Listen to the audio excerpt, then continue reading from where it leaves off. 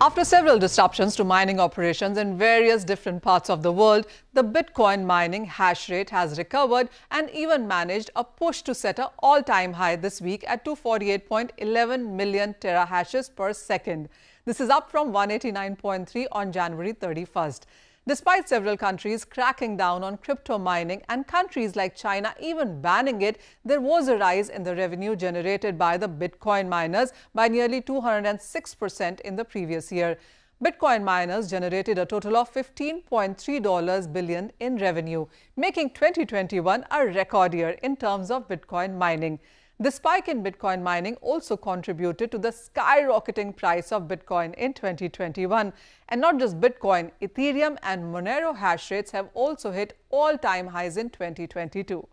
Hash rates are total combined computational power used to mine and process transactions on proof of work blockchain. It's a fixed length alphanumeric code used to represent words, messages and data. Each hash that is created is random and impossible to predict. Crypto projects use variety of different algorithms and this is what a particular hash may look like and change in one metric will change the whole sequence.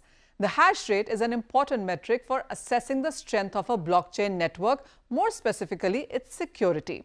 The more miners there are online, the more hash rate is produced. As the miner gets the right hash, new coins are minted, adding a block to the blockchain. Every time a new block is added on the top of earlier blocks, those earlier transactions are reconfirmed again and again, becoming more and more impossible to change.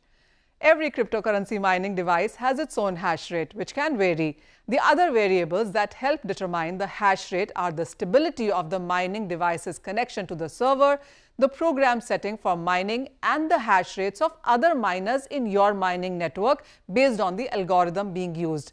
The number of other miners working in your network also has an effect on the hash rate.